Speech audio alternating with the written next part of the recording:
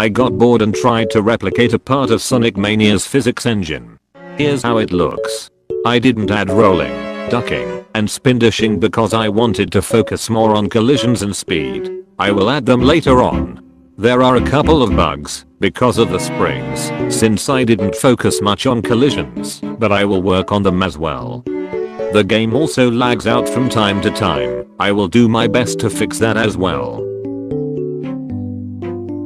I also added some simple parallax scrolling for the background. Nothing too fancy.